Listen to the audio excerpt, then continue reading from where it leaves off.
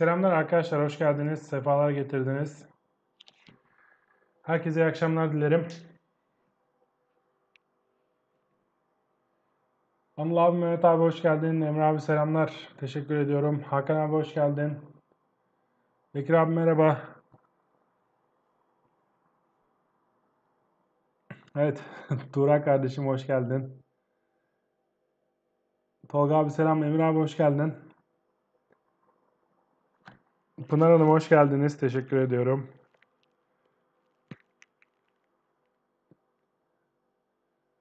Ercan abi selam. Teşekkür ederim. Tolga abi devre kesmiş. Tolga abi devre kesmiş bugün. Eyvah. Şeref abi selamlar. Hoş geldin. Ruhi abi nerelerdesin sen? Güzem Hanım merhaba. Mehmet Dur abi hoş geldin. Teşekkür ederim. Evet Rüzgar annenin telefonunu bırak. Yayından terk et burayı. Çabuk uyu bakayım. Uyku saatin geldi. Ercan abi yani İPK iş işten geçti anlatmaya çalışıyorum ama yani ne diyeyim ne diyeyim maalesef yani 20-60'ın altı problem. Hadi 19.50 18.50 tutsun ama oralarda tutmuyorsa e, yani rüzgara karşı koşulmaz. Bülent abi hoş geldin. Turan abi selamlar hoş geldin. Ekrem eyvallah teşekkür ediyorum. Mina Hanım merhaba. Erdem abi selam hoş geldin. Aytaç abim selamlar, hoş geldin. Teşekkür ediyorum. evet, Emir abi endeksle ilgilenmiyor ama Emir abi endeks, Emir abiye endeksle ilgilenmeyi öğreteceğiz arkadaşlar. Ali abi selam, hoş geldin. Teşekkür ederim. BES ve OKS arasındaki fark var mı arkadaşım demiş Turan abi. Valla BES ve OKS nedir? Bilmiyorum ki sana söyleyeyim abi. Ne, ne demek istediğini anlamadım yani öyle söyleyeyim. Mithat abim teşekkür ediyorum. Eksik olma. Faik abi hoş geldin. Teşekkür ederim. Ali abi hoş geldin tekrardan aramıza sen de. Evet Emir abi Allah kabul etsin. Biz arkadaşlar başlayalım. Dedik ki yurt dışı kanı alıyor değil mi? Armağan abi selamlar hoş geldin. Evet yurt dışı kanı alıyor. Bizim borsamız ne kadar dayanabilecek? Vallahi iyi dayanıyoruz arkadaşlar. Yani eski zamanlar olsa biz bunların önünde koşardık. Vallahi şu an bilmiyorum 1500 mü olduk 1600 mü olurduk bilmiyorum ama Vallahi inanılmaz. Ee, inanılmaz güçlü duruyoruz. Yani dolar bazlı olarak tabii biraz e, ucuzuz zaten. Hani bildiğiniz gibi herkes ucuz olduğumuzu biliyor ve söylüyor. Ama TL bazlı da affetmezler de arkadaşlar bu dönemlerde. Vallahi iyi dayanıyoruz. Yani bu yabancının olmaması biraz işimize geldi bu noktalarda. Bu sanayileri neden bahseder? Evet çok kötüydü ya. Bugün Ereğli Kardemir falan mahvoldu yani. Erdem abi teşekkür ediyorum. Hoş geldin. Şimdi arkadaşlar Dow Jones'ta izlediğimiz bir görüntü vardı. Önce bir yurt dışı ile başlayalım. Ondan sonra bizim borsamıza da gideceğiz paralelinde. Dow Jones'ta izlediğimiz, takip ettiğimiz görüntü neydi arkadaşlar? Buradaki bir geri dönüş çabasıydı değil mi? Buradan bir geri dönüş çabamız oldu. Şurada bir kırmızı renkli trendimiz vardı. 33.300 bantları olarak takip ediyorduk. Şurada geçmişten gelen bizim boyun çizgimiz. Üzerine atmıştık. Burada bir kez 33.000'lerden tepki alıp yukarılara 36.000'lere kadar taşıdık. Ama ondan sonra tekrar burada bir kırılım oldu ve bu trende bir geri dönüş çabamız oldu. Burada aslında bayağı direndi, tutundu hani bir filamayla belki şuralara taşırlar mı diye bir beklenti içerisine soktu piyasayı. Ama maalesef arkadaşlar gördüğünüz gibi burada tutunamadı. Yani bizim burada önemli bir destek olarak çizdiğimiz bir kutumuz vardı. Bekir abi kutuları seviyor. Bekir abi kutuyu senin için çizmiştik. İşte gördüğün gibi 32.600'lerin 32.500'lerin altına inince beklenen negatif senaryo gerçekleşmiş oldu arkadaşlar. Peki en kötüsü bitti mi? Hani Tunç Hoca var bilirsiniz izlersiniz. Güzel bir e, abimizdir. Eğitici bir abimizdir. Ben de severim kendisini. Zaman zaman takip ederim. Yayınlarına da bakarım. Hani onun bir sözü var. Şöyle der. Der ki en kötüsü geçti mi? En kötüsü bitti mi? Arkadaşlar Dow Jones açısından en kötüsü bitti mi diyebilir miyiz? Şöyle bir şurada bir düşüş hareketi saymak istiyorum. Şöyle bir düşüş hareketimiz oldu. İkinci tepkimizi verdik. Üçüncü kez düştük. Dördüncü kez tepki verdik ve beşinci kez düştük arkadaşlar. Burayı bir beşli düşüş dalgası olarak adlandırırsak değerli dostlarım biz ne arıyoruz? Genelde böyle 5 dalgalı düşüş hareketlerinden sonra bir dönüş formasyonu arıyoruz. Bilindik dönüş formasyonlarımız ne? İkili üçlü dipler, tobolar ya da elmas formasyonları değil mi? Bunlar bilindik herkesin aşikar olduğu dönüş formasyonları. Peki burada Ne oldu? Ne bitti? 5. dalgayı eğer burada sonlandırdıysak. Şimdi ekrandaki şu kalabalık fazla çizgilerimi kaldırayım. Bu artık dalga sayımıyla işimiz yok. Burada ne görüyoruz arkadaşlar? Şu noktayı 5. dalganın sonu olarak nitelendirirsek burada bir dönüş formasyonuna ihtiyacımız var. Neydi o dönüş formasyonu? Bir tepki, bir düşüş. Eğer burası bir dip olarak kabul edilecekse burada güzel nizami bir ikili dip çizmiş olarak değerlendirebiliriz. İkili dip formasyonun çalışması buraların aşmasını aştığın aşmasından sonra olur. Ama erken pozisyon için buraları da bir ikili dip olarak değerlendirebiliriz. Yani yukarı yönlü bir atak olursa burada ikili dip çalışmaya aday olacak arkadaşlar. Yok ben ikili dip yapmayacağım. Burada sizi kandırıyorum. İkili dip değildir bu benim istediğim. Burada bir omuz yaptım. Aşağı doğru zaten bizim beklediğimiz bölge bakın burası. Buralara kadar gelmesi teknik olarak öngörülebilir bir hareket olacak. Buralara gelirse ne yapar arkadaşlar? Burada da şu şekilde bir e, tobo formasyonu çizebilir. Yani e, en kötüsü geride kaldı diyebilmemiz için arkadaşlar en kötüsünün geride kaldığını e, görebilmemiz için bizim buralardan artık yeşil bir muma ihtiyacımız var.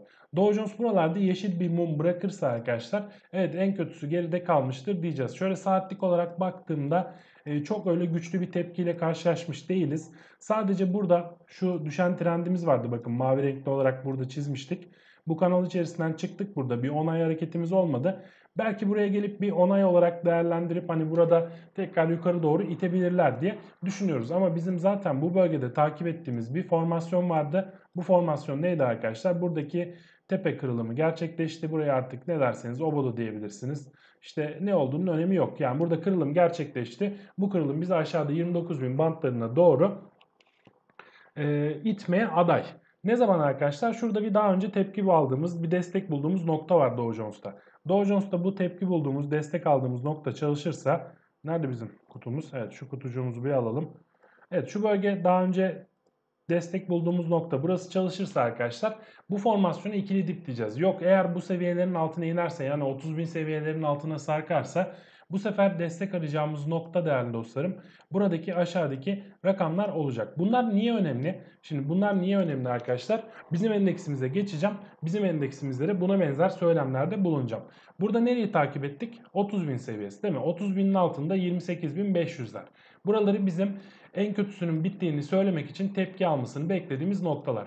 Eğer buradan tepki alırsak en kötüsü burada bitmiştir. Eğer buradan tepki alırsak en kötüsü bu bölgede bitmiştir diyeceğiz değerli dostlar. Şu an için daha tepki yok. Yani bugün yine bir satıcılı gün e, henüz tepki alabilmiş değiliz. Şöyle günlük olarak bakarsak böyle gepli gepli geliyor. Yani hani yarını yokmuş gibi satıyorlar. Böyle sanki pandemi dönemindeki gibi bakın mesela şu bölgeye. Burada da böyle gepli gepli hareketler, gepli gepli açılışlar. Hani buradaki dönem gibi benzer bir geri çekilme oluşuyor.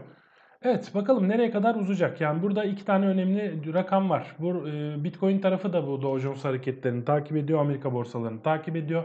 E, enflasyon verileri beklentiler üzerinde gelmeye devam ediyor. Bu e, beklenti üzerinde faiz arttırımını işaret ediyor arkadaşlar. E, o yüzden biraz tedirginlik hem coin piyasasında hem de Amerika borsalarında ve Avrupa dünya borsalarında hissediliyor şu anda.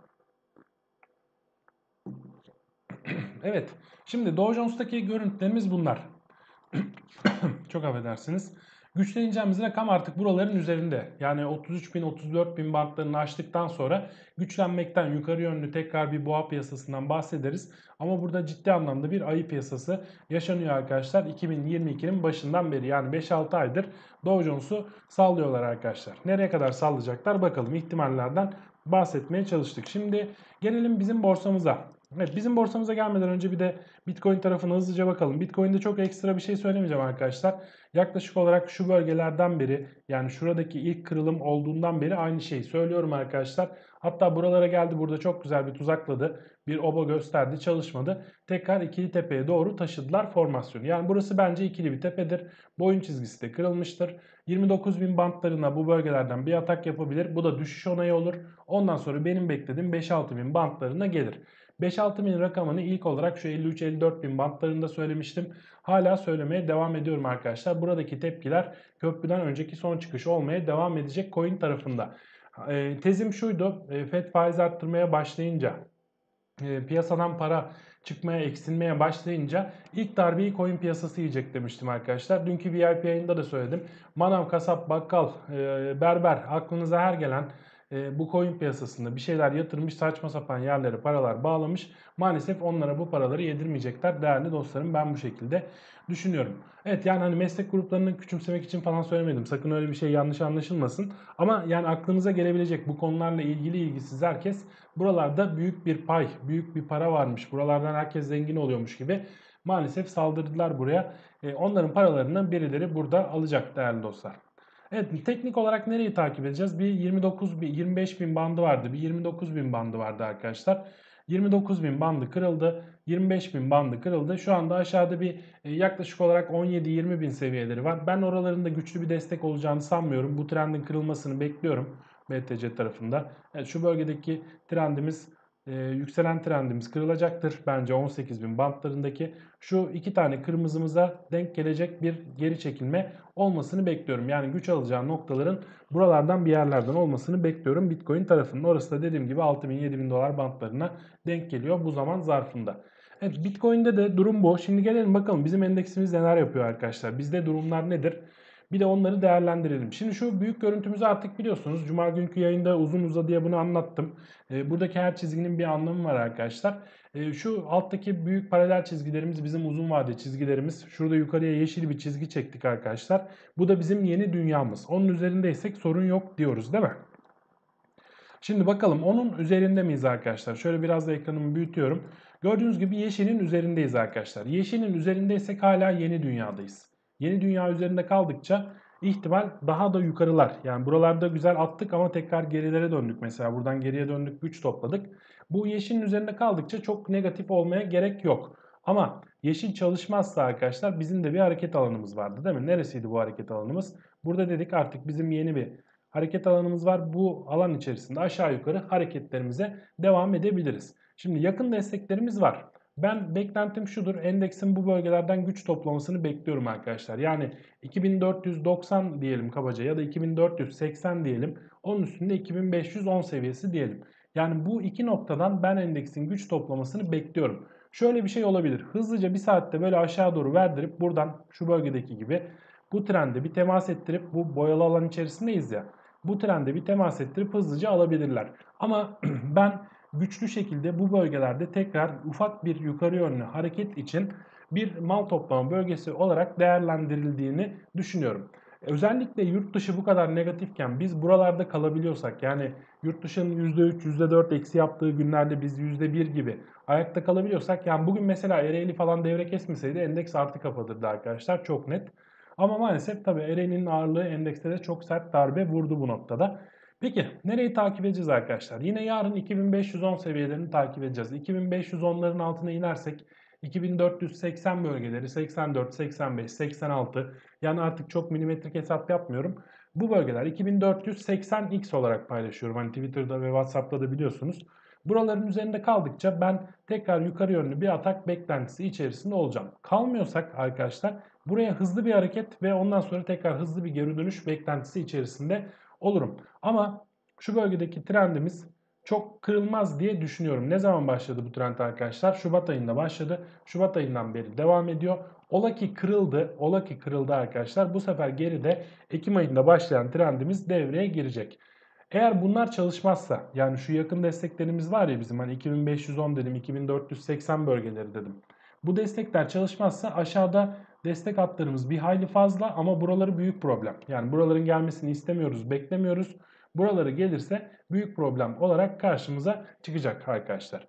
Evet rakamlarımızı tekrar söyleyelim. Biz aşağıda 2510 bölgesini onun altında 2480 bölgesini önemli destek hattı olarak takip edeceğiz.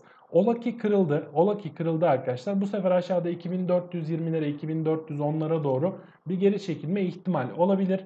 Bu görünen boyalı alan içerisindeki hareketler bizi yukarılara doğru taşımak için çizilen bir formasyonun göstergesi olacak. Yeter ki bu renkli alan içerisinde aşağı yönlü kırılım yapmayalım. Eğer yaparsak bu sefer aşağıda 2400'leri belki 2200'leri belki 2000'leri konuşmaya başlarız. O yüzden kırılmaması gereken ilk rakamımız 2480 bandıdır değerli dostlar endeks tarafında.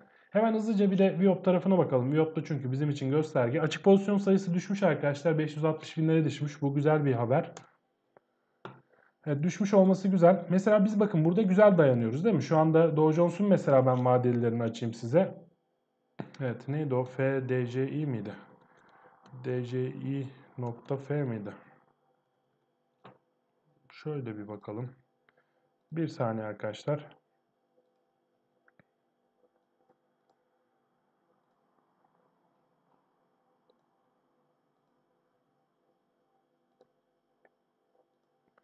Evet hemen bir ekranı çok kısa kapatmam gerekti özür dilerim. Evet buranın vadelileri neredeydi şu? Evet DC30F. Evet bu arkadaşın mesela vadelilerine baktığımızda bugün bu arkadaşın vadelileri %2,5 %3'e yakın bir eksi yapmış. Yani biz şu anda gördüğünüz bir dipte doji yapıyoruz. Bu doji bir dönüşe işareti olabilir. Yarınki mum bizim için önemli olacak. Burada bir hareket alanımız var. Mesela endekste de böyle bir alan çizdik değil mi? Burada da bir paralel e, yukarı yönlü devam eden bir hareket alanımız var. Bu arkadaş da bunun içerisinde hareketlerine devam ediyor. Yukarı yönlü bir kırılım yaptı. Buranın adı boğa tuzağı oldu arkadaşlar. Maalesef üzerinde kalıcılık sağlayamadı 3000 rakamlarının. 3000 rakamlarının üzerinde kalamayınca da 2950'yi de kırınca bu sefer aşağıda 2700'lere doğru bir short trade bölgesi oluşturdu.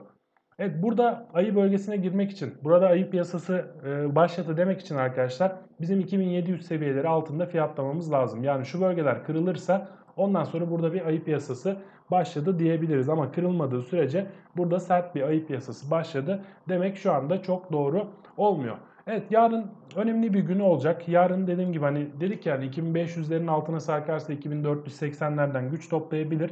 Burada da yaklaşık olarak 2780'lere 2760'lara doğru bir geri çekilme olabilir. Olursa çok büyük problem olmayacak. Buradan tekrar aynı şu bölgede olduğu gibi, aynı şu bölgede olduğu gibi bir kere de buradan yukarı yönlü bir tepki beklentisi içerisinde olacağız arkadaşlar. Bugün genel olarak kötünün iyisi bir kapanış aldık. Bu bizim için güzel pozitif. Şöyle bir saatlik periyotta güzel bir tepki aldık. Şöyle bir bakalım. Şurada bir kırılım yaptık. Üzerinde kalamadık ama yani şu kırılım güzeldi. En azından ciddi bir atak yaptık. Ve indikatör nezdinde de uyumsuzluklarımız oluşmaya başladı. Yani saatlik periyotlardaki uyumsuzluklar bizim için önem ifade etmeye başlıyor arkadaşlar.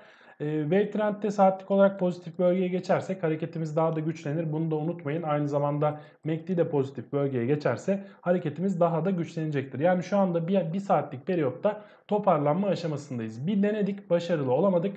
Bir yarın daha önemli daha kritik olacak arkadaşlar. 2500-2480 aralarından güç toplamasını bekliyorum. Düşüşler e, bu bölgede yakın stoplu olarak alım fırsatı olarak karşımıza çıkıyor. Olur da 2480'leri kırarsa da arkadaşlar o yüzden problem yaratabilir. Onun altında da dikkatli olmanızı sizlerden istiyorum değerli dostlarım, kıymetli arkadaşlarım. Evet genel endeks piyasa düşüncelerimiz, görüşlerimiz bunlar arkadaşlar. Ee, çok negatif değilim. Ee, yurt dışından ayrılmış durumdayız. Bizim dolar bazlı görüntümüzde bilinen bir bedava hikayemiz var. Enflasyon hikayemiz var. Bunlar geçerliliğini korumaya devam ediyor. Bakalım yani buralardan artık tepkiye ihtiyacımız var. Evet kırılmış mesela bu noktalar. 145 dolar, 146 dolar seviyeleri güç toplamasını istediğimiz bölgeler. Ama maalesef burada bir kırılım oldu.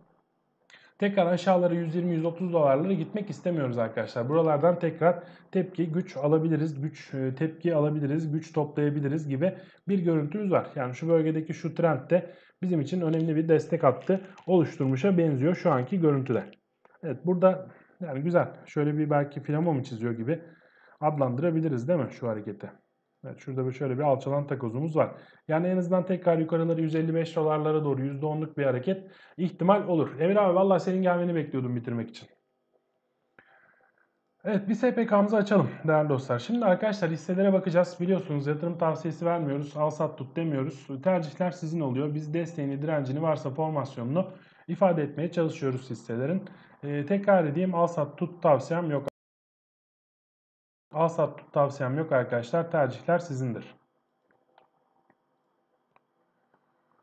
Evet bir bakalım arkadaşlar Anıl abi kanala üye olan arkadaşların hisselerini liste olarak iletiyor bana. Ee, ben de diğer e, üye olmayan arkadaşların hisselerini gördükçe bakmaya çalışacağım. Olur mu?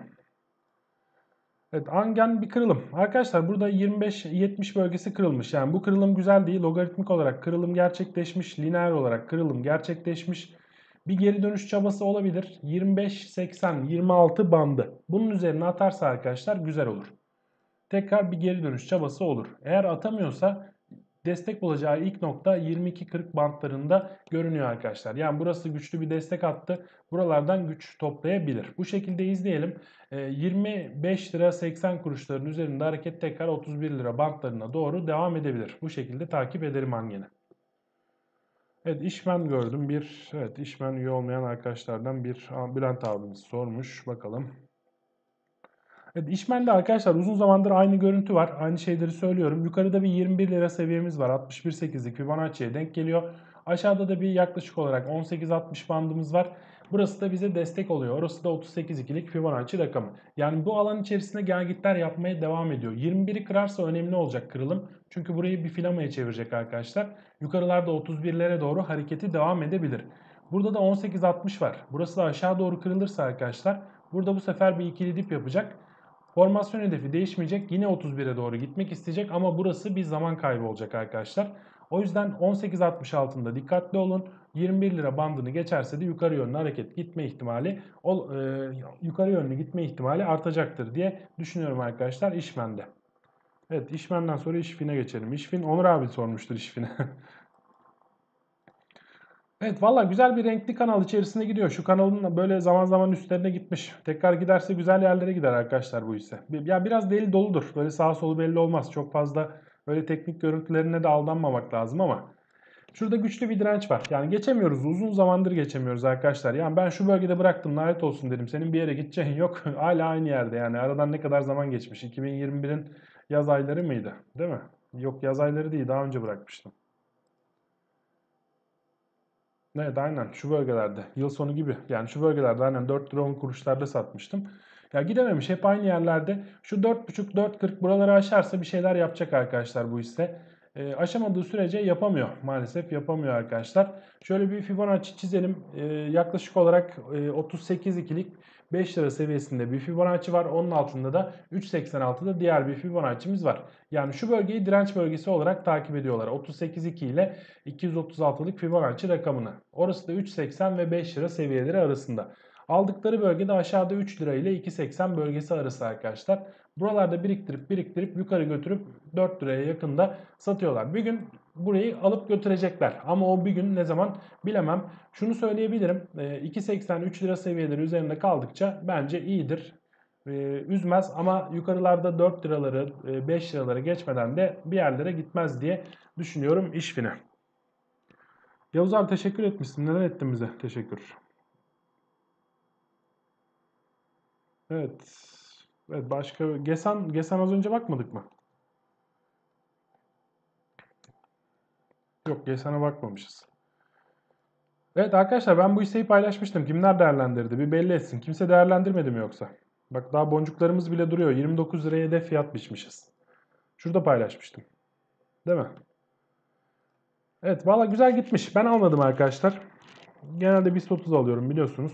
Evet şu formasyonumuz var. Burada biraz dinleneceğiz arkadaşlar. Ben bu şekilde düşünüyorum. Burada böyle yatayda bir konsolidasyon sonrasında devam. Ama bu süre belli değil. Yani bir ay mı, bir gün mü, bir hafta mı bunu bilemem. E, ama şöyle bir şey söyleyebilirim sizlere. 29.70'lerin üzerinde kaldıkça güvendesiniz. 29.70'in altına inerse aşağıda 22 lira seviyelerine kadar geri dönmek isteyebilir. Benim için formasyonunu tamamladı. Şu an dinlenme bölgesine gelmiştir arkadaşlar. Acelesi varsa çok dinlenmez. Hemen 2-3 günde burada çizerler, alırlar, götürürler. Yok aceleleri varsa burada biraz malı teslim edip böyle can yakarlar. Ondan sonra alıp götürürler. Siz şu şekilde takip edin. 29 lira 80 kuruş. Biraz kendinize, kendinize marj bırakın. 29 lira 70 kuruş, 60 kuruş, 50 kuruş artık neyse. Oraların altına inmediği sürece panik yapmayın. İnerse dikkatli olun çünkü 22 lira bantları olur arkadaşlar. Anıl abimiz demiş ki bizi 90 kusur kişi izliyor. 40 kişi beğenmiş. Anıl abi ayıp etmiş arkadaşlar bize o zaman. Evet vallahi üzüldük. Şu an üzüldük. Evet Akbank arkadaşlar ben Akbank'ta 8.30 üzerinde güçlü görüyorum Akbank'ı. 8.30 üzerinde 9.80'in 9.80 üzerinde 12.50'ye doğru devam edebilir. Evet 8.30'u takip edeceğiz. 8.30 kırılmadığı sürece panik yok, korku yok. 8.30 kırılırsa dikkatli olun aşağılarda 6.70'lere kadar 7.30'lara e, kadar geri çekilme olabilir. Dikkat edeceğimiz 8.30 rakamıdır. 8.30 üzerinde ise güvendeyiz. Yukarıda 9.80'leri geçersek de böyle biraz iştahlanabilir 12 liralara doğru demek istiyorum Akbank için. Evet, e, Arena, Arena bilgisayar bayağıdır bakmadığımız bir hisse bakalım. Hemen Arena bilgisayar gördüm. Evet, Arena bilgisayar bir kırılım yapmış değil mi? Bu kırılımı yapmış. Şimdi bu kırılımı nerede yapmış? Bu kırılımı aslında burada yapmış baktığında. Güçlü direnç hattı burası ama biz böyle her tepeye doğru bu trendi taşımaya devam edeceğiz. Evet şu anda direnç hattı. Aslında kırılım da yapmış, direnç de var değil mi? Şimdi ne diyelim buraya? Burada hem direnç var hem de şöyle gelmiş kırılım yapmış. Buradan da pullback yapmış. İşte buna söyle söyleyebilirsen. O yüzden maksimum teması elde ettiğiniz trendler sizin için daha doğru oluyor arkadaşlar. Burada bakın 2-3 kere test etmiş bu bölgeyi. Yani bu trend bizim için daha doğru. Evet bir 13 lira seviyemiz var. Şurada bir Fibonacci rakamı. Üzerinde güçlüyüz arkadaşlar. 13 üzerinde kalamıyorsak aşağıda 10.50'ye onun altında 8 liralara doğru güç toplamaya inebiliriz. Yani şu hareketleri yapabiliriz. Ne zaman kırılımımız oldu? Artık bizim güçlü trendimiz burası oldu. Neden? Çünkü burada 4 kere denemiş bu trendi. Burası bizim için güçlü bir trend, trend hattı, güçlü bir direnç hattı oldu. 13 lira seviyesi bir direnç arkadaşlar. 16 lira seviyesi bir diğer direnç. 21 lira seviyesi de bir diğer direnci. Burada zaman geçirip şu şekilde bir formasyonla da yukarılara doğru hareketi devam edebilir. Şu şekilde takip edeceğiz. 13 üzerinde 16'yı 21'i bekleyeceğiz. 13 üzerine atamıyorsa aşağıda 10.50'yi ve 8'e onu destek olarak takip edeceğiz arkadaşlar hissede. Bir hareketli ortalama görelim bakalım ne durumdalar hareketli ortalamaları. Evet güzel 200 gün ve 500 gün hala destek konumunda 12.70 seviyesinde 200 gün var. Ee, yaklaşık olarak 11 lira seviyesinde de 500 günlük ortalaması var. Yani şu anki görüntüsü biraz çabası gayreti var. Yukarılara doğru gitmek ister gibi görünüyor. Evet süper trendi de al vermiş sat vermiş. Buralarda bir e, çarpışma var gibi hissediyorum ben arkadaşlar. Arenada e, güçlü bir direnç var. Burayı aşarsa güzel. E, 14.30 gibi 14.50 gibi takip edebilirsiniz o direnci. Evet gelelim Türk Traktör bakalım neler olmuş Türk Traktör'de. Evet Türk Traktör'de aslında olabilecek olan e, en kötüsü olmuş arkadaşlar. Hisse bir yerlere gitmiş gelmiş gitmiş gelmiş en sonunda kabul edilecek son destek noktasına 227 bantlarına gelmiş. Şimdi burası artık tehlike çanlarının çalmaya başladığı bölge oluyor arkadaşlar. Yani bu 220'lerin 225'lerin bu bölgelerin altına inerse burada problem büyüyecek. Önce 200'e ondan sonra belki 500 güne doğru bir geri çekilme olabilir. Burada bir formasyon var. Bu formasyon hala geçerliliğini korumaya devam ediyor. Ama 225 bantlarının altında da arkadaşlar bu formasyonun geçerliliği meçerliliği kalmaz. O yüzden dikkat edeceğimiz rakam 225 bantlarıdır arkadaşlar. 225 bantları, 220 bantları önemlidir. Üzerinde kaldığımız sürece önce 270'e ondan sonra da 315'lere doğru bekleyebiliriz. Ama olur da 220-225'lerin altına sarkarsak tehlike çanları çalar. İlk etapta en yakın dostumuz 200 gün ortalama seviyesindeki 205 lira bantları olur. O yüzden 225 bandı önemli bir destek olarak karşımıza çıkıyor. Buradan güç toplamalıyız. Yukarıları 250'lere doğru bir atak yapmalıyız diye düşünüyorum arkadaşlar Türk Traktör'de. Kardemir mahvetti beni. Evet Kardemir kötü oldu arkadaşlar. Bir bakalım Kardemir'e. Kardemir de. Evet bu kırılım kötü arkadaşlar. Maalesef burada 13.80'lerden güç toplamasını bekliyorduk ama bu kırılım oldu. Bu kırılım olduktan sonra hatta şu bölgelerdeki takos kırılımları da oldu. Yani buralarda kendimize destek bulacağız. Evet şu şekilde bakabilir miyiz? Yani bu iş uzar. Buralar olmaz. Evet maalesef yani teknik bir kırılım gerçekleşmiş durumda. Şu anki görüntüde böyle görünüyor. Burada bir kırılımımız var. Nerelere doğru çekileceğiz? Şimdi bir hareketli ortalamalarımızı koyalım. Evet 100 gün gitmiş maalesef. 100 gün gittiği için aşağıdaki 200 günlük ortalama bizim bir diğer desteğimiz olacak. Stop olmadıysanız yukarıdan maliyetliyseniz 200 e, günlük ortalamaya kadar müsaade edin bence arkadaşlar hisseye. Bakın bu bölgede de gelmiş burada konsolide olup yukarı yönlü bir hareket başlatmış. Şimdi burada da 12 lira bantlarına gelip burada bir konsolidasyondan sonra yukarı yönlü tekrar bir atak yapabilir.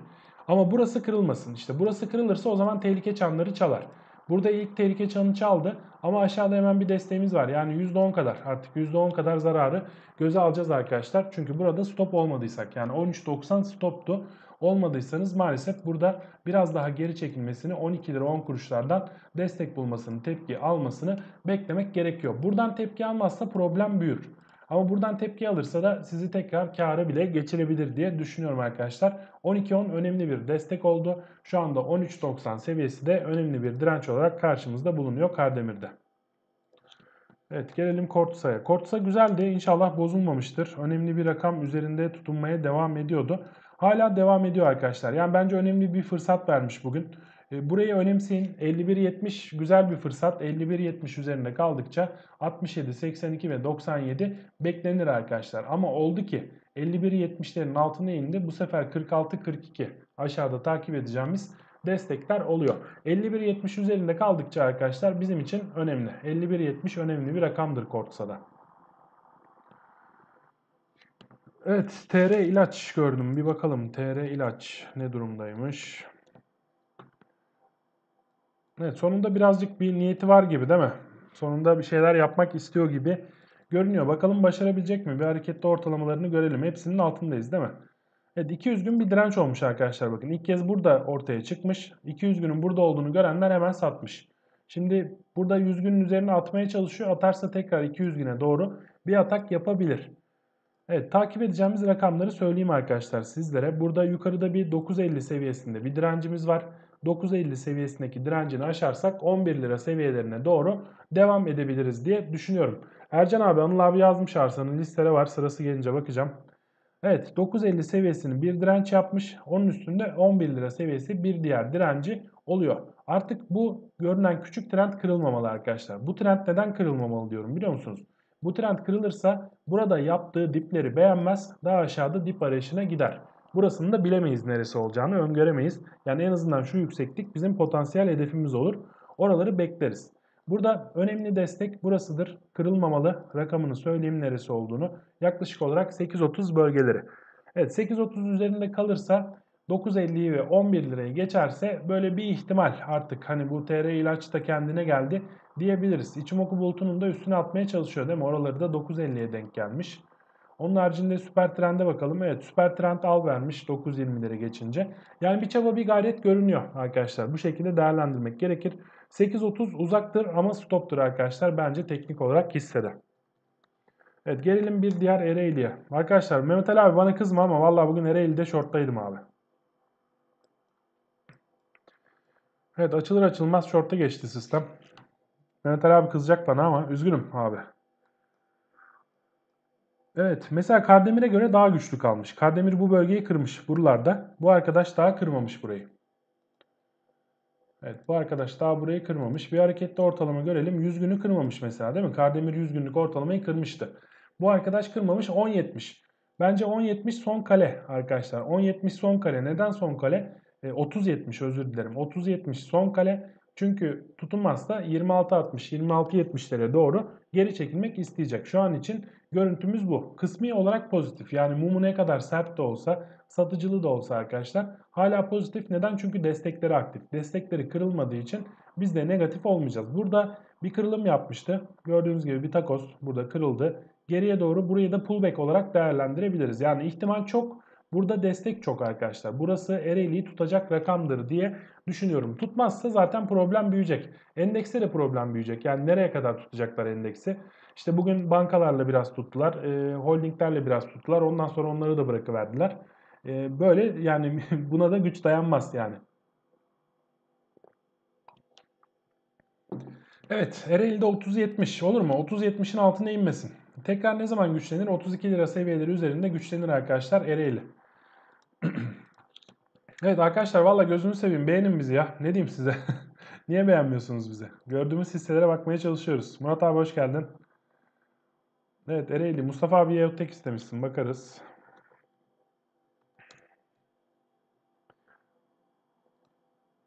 Murat abi bu ak benim parayı çöktü hala göremiyorum bir op teminatlarımı. ne diyorsun alabileceğiz mi paramızı geri? Evet bunu niye sildim? Burası bizim için önemli bir direnç. Valla arkadaşlar tutunma çabası gayreti var. Yani bir yerlerde bu hissenin bir hareket alanı var. Bu hareket alanı içerisinde yoluna devam ediyor. İşte burayı destek yapmış gördüğünüz gibi değil mi? İşte burayı da direnç yapmış. Evet burayı da direnç yapmış. Hareket alanımız burası. Burada alçalan bir takoz var. Böyle e, incik cincik böyle dibine kadar sıkacaklar herhalde bunu yani. 54 lira seviyesi aşağıda 64 lira 64 lira seviyesi yukarıda arkadaşlar hissede. Hareket alanımız bu hafta burası. Aşağıda 54 yukarıda 64. Burada devam edebilir. Burada sizi silkelemeye devam edebilirler. Böyle bir aşağı kırdırıp kandırıp yukarı doğru çekebilirler. Ama bu görüntü yukarı yönlü bir kırılım olursa tekrar yukarıdaki 100 lira seviyelerini daha önce gördüğü zirvelere test etmeye aday olur. Nacizane düşüncem, görüşüm bu arkadaşlar. Diyorum ki 54 altına inmesin. 54 altına inerse en yakın durağı 48 oluyor. 48'in altı boş zaten arkadaşlar. 54 ve 48 aşağıda destek. Yukarıda 64 bir direnç. Onun üstünde 72 diğer direnç. 72'nin üstü de boş arkadaşlar. Bu sefer 100 lira bantlarına doğru. Eyvallah Murat abi. Evet Yeotek baktık. Anıl abi sana geldim. Ereğli baktık. Sasa bakalım. Bugün Sasa'yı da Sasa'yı da doğradılar. Evet Sasa'yı da bugün doğradılar. Bakalım ne olacak ne bitecek. evet biraz ortalamalarından uzaklaştı herhalde bu hisse arkadaşlar. Şöyle bir ortalama göreyim. Bir saniye affedersiniz. Evet ortalamalarından uzaklaş, uzaklaşmış değil mi? Yani 20 günlük ortalaması bile 38 lira bantlarında. O yüzden biraz buralarda oyalayacaklar diye düşünüyorum. Ortalamaları yukarı doğru çekerler gibi geliyor. Yani 41 lira seviyesinde e, Tenkan-Sen ortalamamız var. O bize destek olur. Ama oralara da gelmeden şöyle şurada bir güzel filama çizse böyle bir tur daha alıp götürse bunun FK'sı 35 olmuş Sasa alınmaz diyenleri bir daha böyle bir pişman etse diyorum Sasa için ama bakalım yapabilecek mi? Bir direnç hattımız var arkadaşlar. Bu direnç hattı içerisinde alçalmaya devam ediyoruz. Şöyle şunun paralelini de bir alalım bakalım nerelere denk geliyor. Evet yani kabaca şöyle koyabiliriz. Evet aşağıda bir destek hattımız var 41 lira seviyeleri. Yukarıda bir direnç hattımız var 44 lira seviyeleri. Yani Sasa'da önümüzdeki birkaç gün içerisinde arkadaşlar takip edeceğimiz rakam buralara oldu. Aşağıda 41 yukarıda 44. Kırılım olursa burası böyle bir filama olur. Sasa 50 lira olur arkadaşlar. Ama yok kırılım yapmazsa burada böyle testereye devam eder. E, doğranmayın. Yani Sasa'da doğranmayın. Böyle çarpılmayın. Sasa güzel bir kağıttır. Yazık etmeyin Sasa'ya. Evet aşağılarda 41, yukarılarda 44. Kısa vadeli görüntüsü bu arkadaşlar Sason'un. Evet Selçuk Eza gördüm. Selçuk Eza formasyon hedefine benim için ulaştı arkadaşlar. 16 lira seviyesi formasyon hedefiydi değil mi? Her yayında söyledim. Kaç lirada sattılar arkadaşlar? 16 lira 10 kuruşta sattılar değil mi? Evet burada genel ağırlık, genel görüntü herkes 18 bekliyordu. Evet herkes 18 bekliyordu ama ben 16 bekliyordum. 16'ya götürüp satacaklar diyordum. Neden? Çünkü buradaki formasyonun hedefi 16 lira seviyesi. 18'e gitmeyecek mi? Elbette gidecektir. Ama buradan aşağıdan bir 12 liradan, 12 liralardan belki 11 liralardan tekrar güç toplayıp bu hareketi yapar. Şu an 14.5 bir destek o seviyeye yakın kapatmış. Onun altında 13 lira, onun altında 11.90 seviyeleri destek olarak karşımıza çıkıyor arkadaşlar. Şu an için Selçuk Ecza'da. Yani biraz zamana ihtiyacı var. Biraz böyle dinlensin, güç toplasın tekrar devam eder diye düşünüyorum Selçuk Ecza'ya. Evet Fonet bakalım. Evet Fonet kanaldan çıkmış. Şöyle bakalım. Affedersiniz. Evet öksürük problem başladı. Macunumu unutuyorum. Birkaç gündür yemiyorum Gürkan abi. Evet valla bu arkadaş Sağlık Bakanlığı'ndan sürekli ihale alıp duruyor. Bakalım nereye kadar gidecek, nereye kadar gelecek. Evet İl Sağlık Müdürlükleriyle çalışıyor. Yazılım işi yapıyorlar. Biliyorum firmayı. Evet şimdi direnç hattındayız arkadaşlar. Gördüğünüz gibi direnç hattımız değil mi? Burası direnç hattımız mıdır? Evet direnç hattımızdır. Neden? Dönmüş dirençten, dönmüş dirençten, dönmüş dirençten. Şimdi de gelmiş tekrar buraya. Geçer mi? Geçebilir. Niye geçemesin? Ama geçemezse geldiği yer arkadaşlar. Bakın geldiği yer burası. Aklınızda bulunacak durum bu. Eğer buraları geçemezse 14.50'leri geçemezse aşağıda kendimizi 8.30'larda 8.20'lerde bulabiliriz. çok affedersiniz ya vallahi öksürük için çok özür dilerim arkadaşlar. Evet 14.50. 14.50 üzerinde güçlenir. 14.50'yi geçemiyorsa kendimizi aşağıda 8 lira bantlarına kadar taşıyabiliriz. Burada bir genişleyen takozu var arkadaşlar. Kırılımı yaparsa kırılım yaptığı yer itibariyle yükseklik hedefimiz olur. Aşağı kırarsa aşağı, yukarı kırarsa yukarı yönlü. Evet şu an dirençte 14.5 üzeri daha güçlü fonet. O şekilde izleyelim. Kront bakalım. Kront neydi? Telekomünikasyon muydu? Aynen. Evet buna baya, baya önce bakmışız. Hiç hatırlamıyorum bunu ne zaman çizdiğimi. Evet şu destek çalışıyor. Bu destekte en fikiriz. Bir problem yok. Yukarıda da bunun bir direnç hattı oluşmuş gibi görüyorum. Evet şu bölgeyi de hatta şöyle koyalım. Sarkım saçak bölgeleri var. Evet burası da bizim için direnç hattı. Yukarıda neresi direnç oluyor arkadaşlar? Yukarıda 44 lira seviyesi direnç oluyor. Aşağıda da 34 lira seviyesi bizim için destek oluyor. Uzun zamandır bu alanda. Aşağıda gelmiş 34'e destek bulmuş. Yukarıya gitmiş 44'te satıcı karşılaşmış. Aşağıda almışlar, yukarıda satmışlar. Aşağıya gelirse alırlar, yukarı giderse satarlar arkadaşlar. Ne zaman kırıldı? Yukarı yönlü bir hareket. Ne zaman kırıldı? Aşağı yönlü bir hareket. Aşağıda takip edeceğiniz rakam 34, yukarıda takip edeceğiniz rakam 44-45 olarak karşımıza çıkıyor. Evet aksa bakalım. Aksa, aksa güzel dayanıyordu ama inmedi değil mi şu? Evet şu 60 liralar önemli arkadaşlar. Buradaki ikinci 61.8'de oyalanıyor. Hatırlar mısınız? Bakın bu bölgedeki hareketin benzerini burada yapacak demiştim aksa için. Burada da oyalanacak. Konsolidasyonunu bitirir. Burada boğalar güçlü olursa bu sefer 73'e doğru bir atak olur arkadaşlar. Ben 60 lira üzerinde kendimi güvende hissediyorum. 60 lira altında dikkatli olun diyorum. Aşağıda 47-48'e doğru gelebiliriz. Evet görüntümüz bu. 60 lira üzeri 73, 60 lira altı 47. Bu şekilde izleyeceğiz arkadaşlar aksadaki görüntüyü. Evet Murat abi teşekkür ederim. Anıl abi diyor ki Kronta en son 2012 22 Eylül'de bakmışız 2021'de. Vallahi Anıl abi süpersin. Global menkul değerler mi? Aybar. Aybar. Evet değişik bir isminiz varmış. Anlamı nedir ki? Aybars'ı biliyorum da Aybar onu bilmiyorum. Evet global menkul değerler. Yani şu 6.80'leri kırdıktan sonraki yukarı yönlü hareketi güzel ama tekrar buraların altına inmiş olması, tekrar 6.80'lerin altına inmiş olması problem arkadaşlar. Güçlü destek hattını görüyorsunuz. Hep buradan destek bulmuş. Tekrar gelirse destek bulacak gibi görünüyor. Yani 5.45-50'ları 5.45-50 bölgelerini destek olarak izleyeceğiz arkadaşlar. 6.80 bölgesi direnç durumunda 6.80'i geçersek 8.50 bölgesindeki 61.8'lik Fibonacci rakamı bizim için direnç oluyor. 8.50 onun altında da güçlü bir direnç diğeri de 6.80. Buraları önemli dirençtir. Aşağıda da 5.5 lira bandı 5 lira bandı önemli destek olarak karşımızda bulundu arkadaşlar. Gelelim Tekfen'e bakalım Tekfen'de ne işler var. Arkadaşlar Tekfen logaritmik olarak bir kırılımı var. Bugün geri dönüş çabası oldu. Şöyle bakalım. Bugün bir geri dönüş çabası oldu bu logaritmik trendine. Ama başarılı olamadı. Bugün başarılı olamadı ama bugün tüm gün boyunca güçlü kaldı arkadaşlar. Bunun aynı şekilde logaritmik grafikten çıkıp lineer grafiğe geçtiğimde trend desteğinde tutunduğunu, buradan tekrar güç topladığını görebiliyoruz arkadaşlar. Bu bölgenin altına vermedi. Bu bölgenin altına vermemiş olması güzel. Ne yapabilir arkadaşlar? Diptir, tepkidir, ikinci diptir.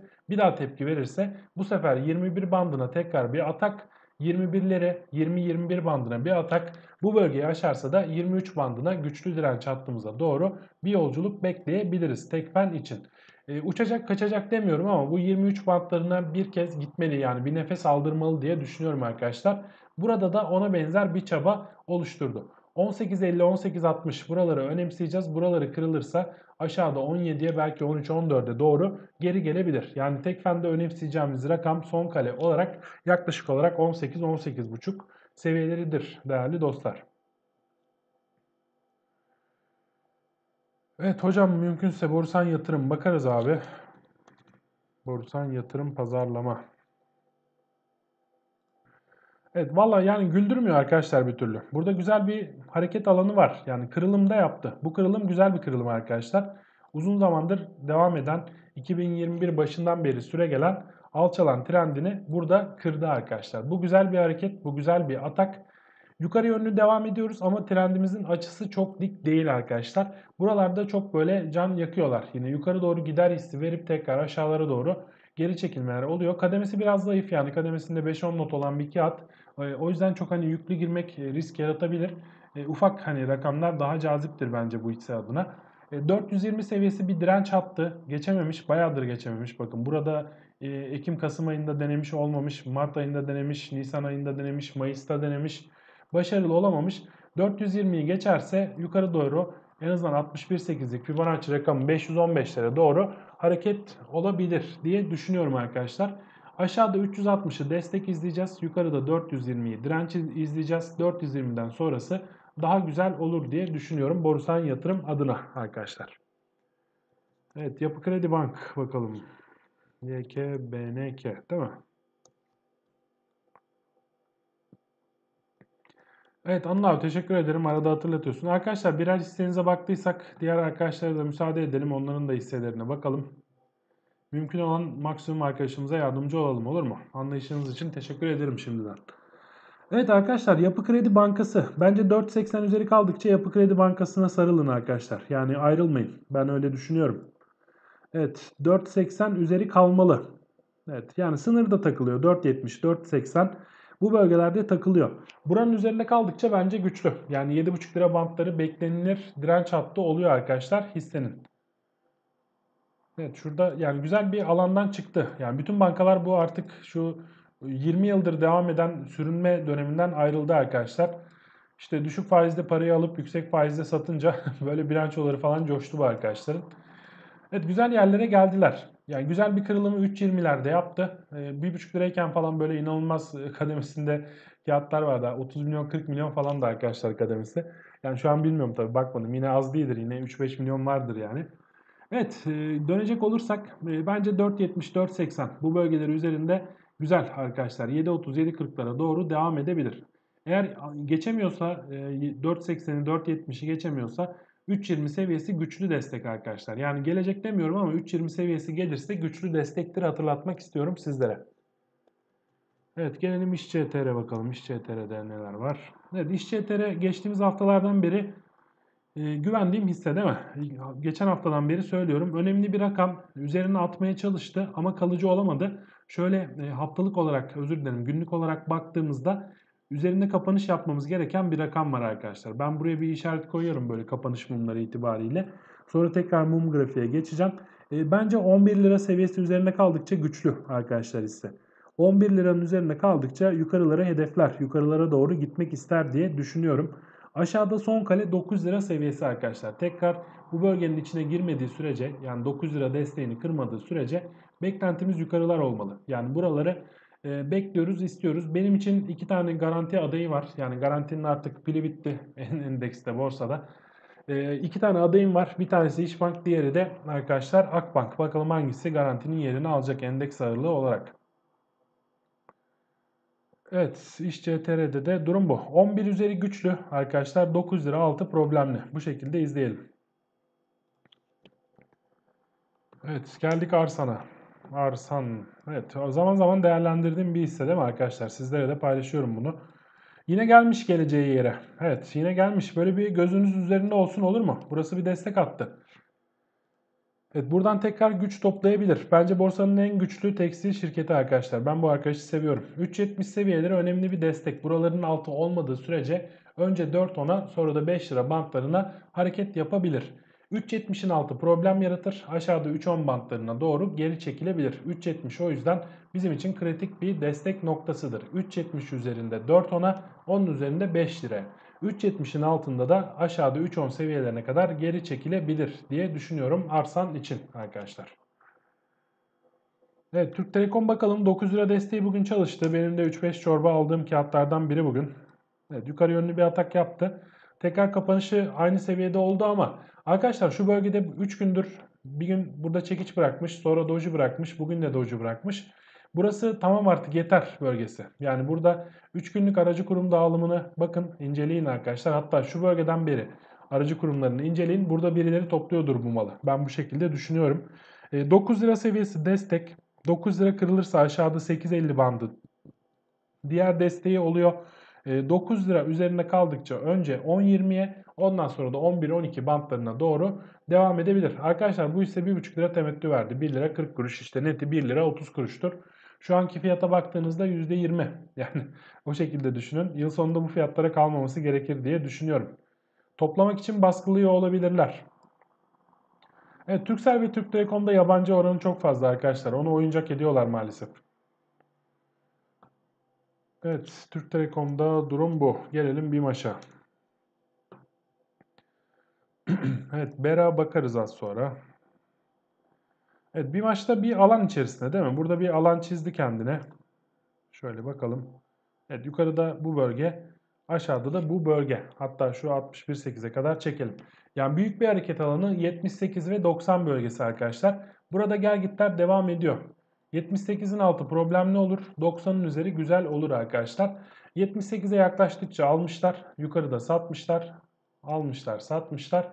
78'e doğru yaklaşıyorsa alırlar diye düşünüyorum. Almazlarsa arkadaşlar kendimizi 73 bantlarında 68 bantlarında bulabiliriz. Bu şekilde izlemek gerekir diye düşünüyorum. 78 ve 90 bölgesi. Hareket alanımız burası oldu arkadaşlar bir maç için. Evet Bera, Bera 12 kusur liraların üzerinde kaldıkça güzeldi arkadaşlar. Kalmış mı? Kalmış.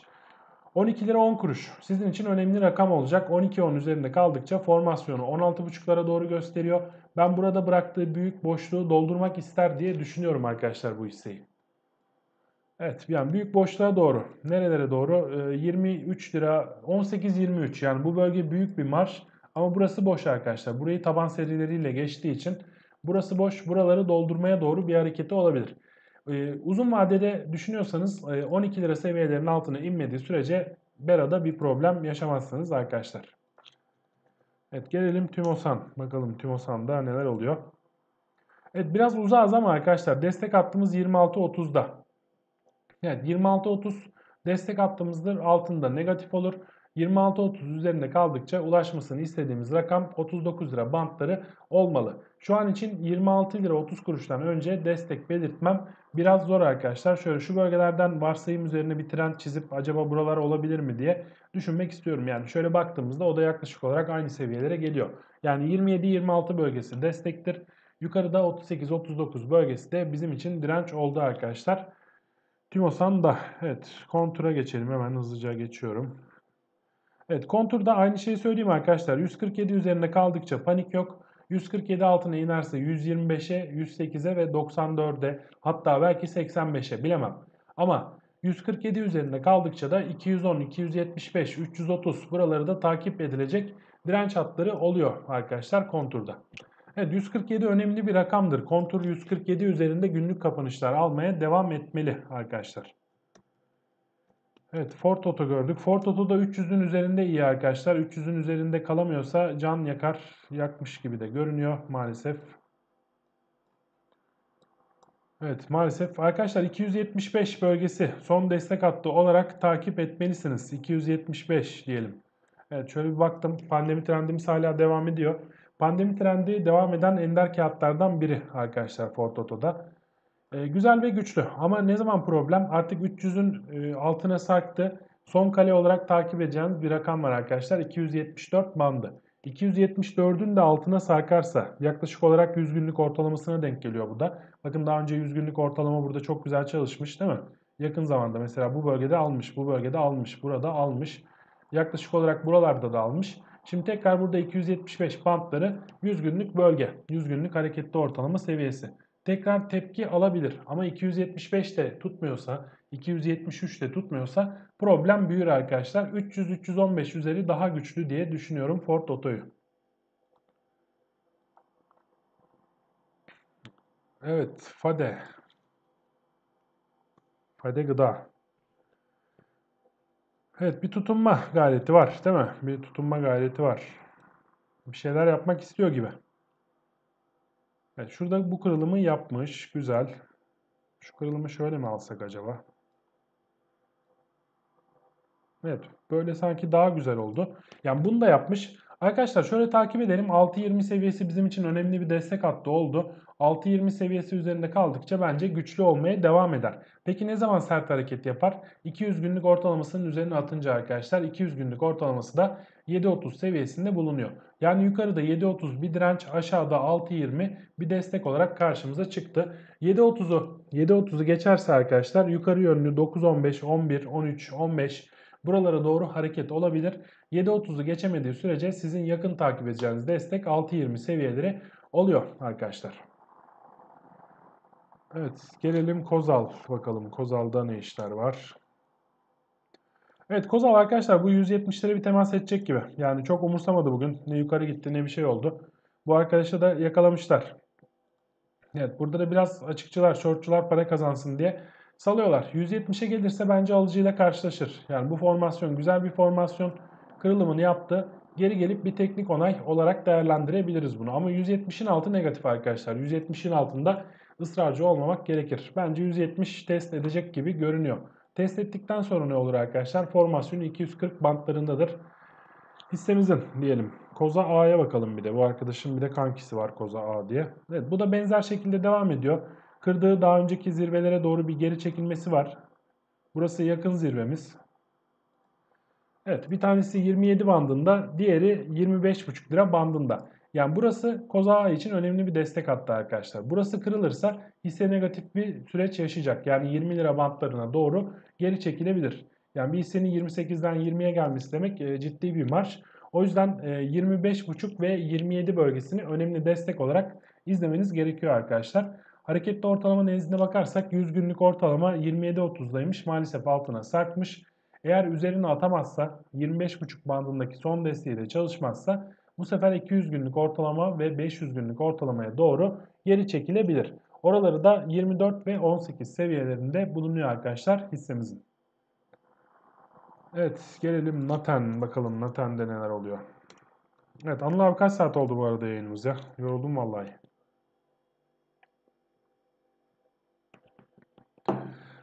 evet bir saate yaklaşmışız. Bu arada sağ olun arkadaşlar. Yüzlerce arkadaşımız bizi beğenmiş. Eksik olmasınlar.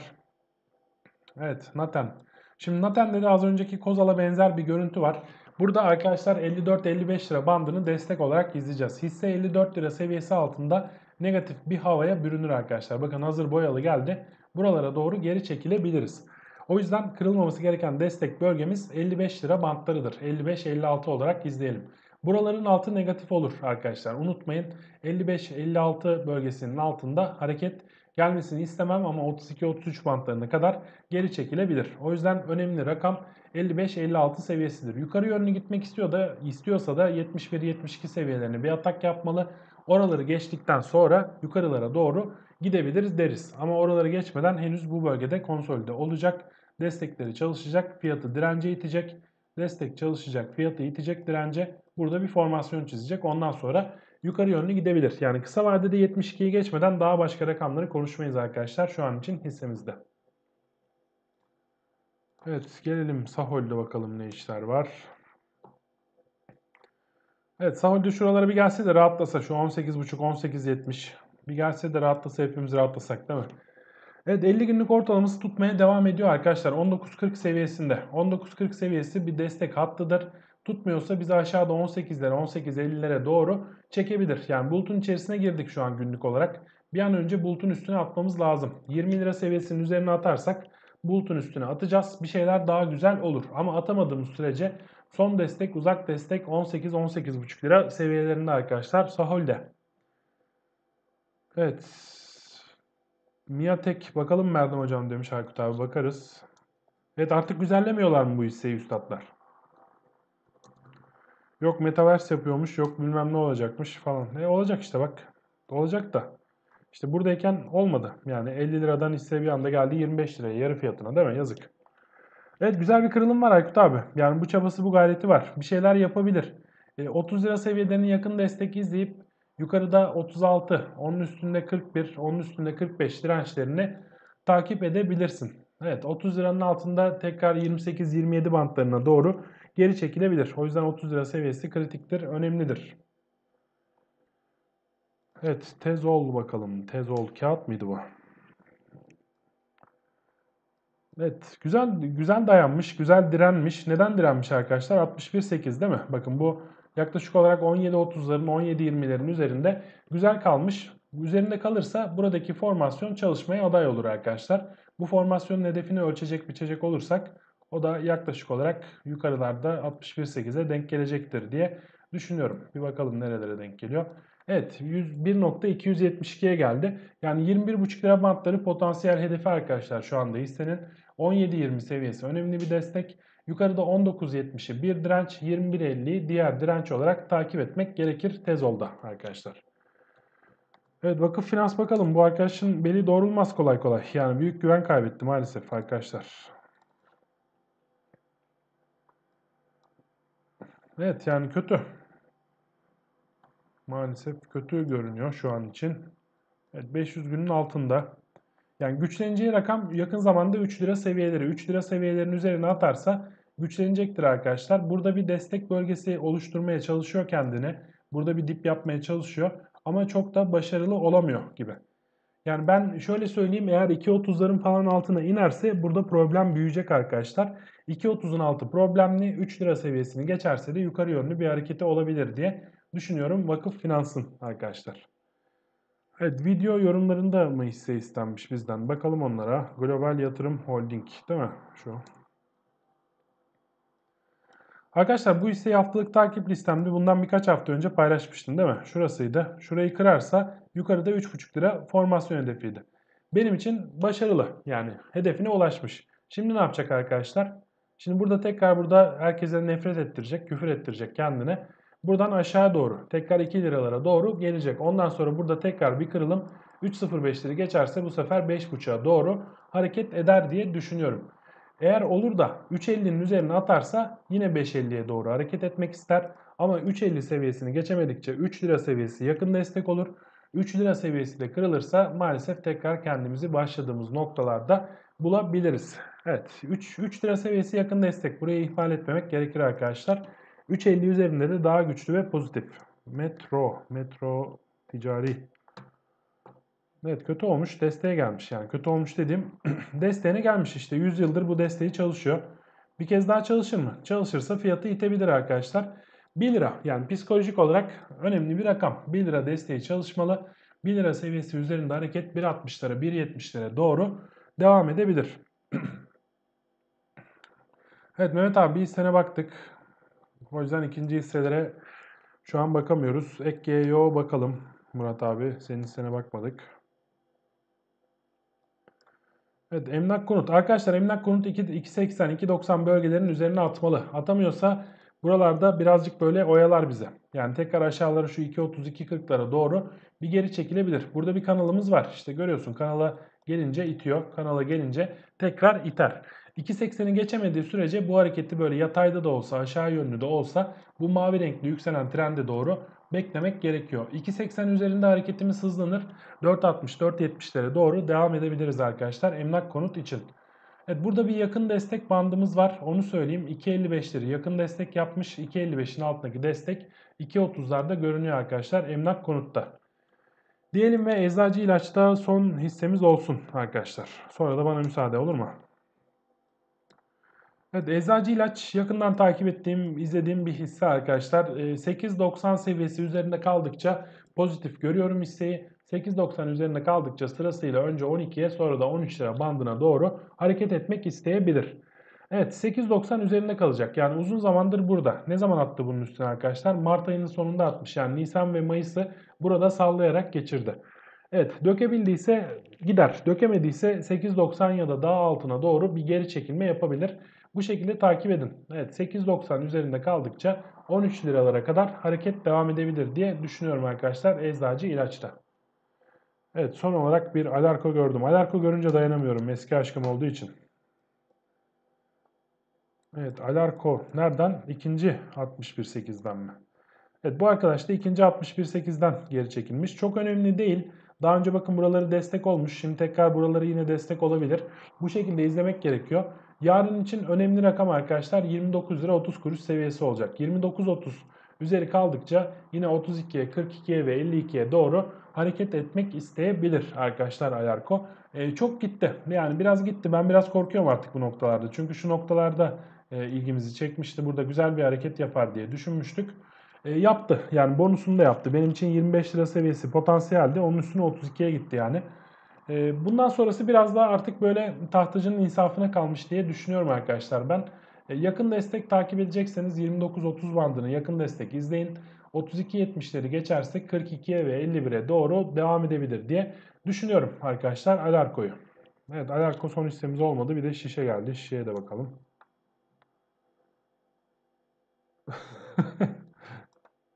Emir abi aynen. Valla Pegasus'a ben de bakmak istemiyorum ya. Ben de erken verdim Pegasus'a. Neyse sağlık olsun önemli değil. Evet bu şişe denen arkadaş ne yapıyor? 61.8 değil mi? Bu arkadaşın da başına 61.8 bela olmuş. Neresi? 22 lira 80 kuruş arkadaşlar. 22.80 üzeri atabilirse 30 liraya doğru gitmek isteyecek. 22.80 üzerine atamazsa 20 lira 40 kuruşlara doğru geri çekilebilir. Evet bu şekilde izleyelim. Yani şişe güçlü kaldı, güçlü duruyor. E, bugün e, yine endekse nazaran güçlü kalan kağıtlardan biri. Bakalım yani İş Bankası devam ediyor burada. Hala hissesine sahip çıkıyor. Bırakmadı yani. Evet bugünlük de bu kadar mı diyelim arkadaşlar. Bir bakalım hemen şeye bakalım. Dow Jones kapandı. Kapanmak üzere. Nasıl kapatmış? Evet maalesef günün en dibinde kapatmış yine. Bu arkadaşı evet belki biraz yarın yarın tepki verebilir. Güzel olmuş yani son saat kapanış mumu biraz böyle tepkili görünüyor. Yarınki hareketi tepki hareketi olacaktır diye düşünüyorum. Bir de bizim bir de bizim endeksimize bakalım akşam seansımıza. Burası nasıl olmuş? Evet 9 şurada başlamış. Evet kısmi olarak bir miktar geri çekilmiş ama çok da önemli değil. Ee, bakalım yarın güzel bir gün olsun arkadaşlar. Yayının başında endeksle ilgili düşüncelerimizi söyledik. Hızlıca tekrarlayalım. 2515-2480 seviyeleri bizim için önemli bir rakam. Önemli bir bölge. Altına inmedikçe çok korkmuyoruz, panik yapmıyoruz. Altına inerse arkadaşlar arkamıza bakmıyoruz. Kendinize iyi bakın. Yarın görüşmek üzere. Bir aksilik olmazsa yine 9.30-10 arası buralarda oluruz. Ee, uygun olan arkadaşları bekleriz. Sorularınıza yanıt vermeye çalışırız arkadaşlar. Ee, abone olduğunuz için, beğendiğiniz için teşekkür ederim. Eksik olmayın. Sağ olun, var olun. Allah'a emanet olun. Hoşçakalın diyorum.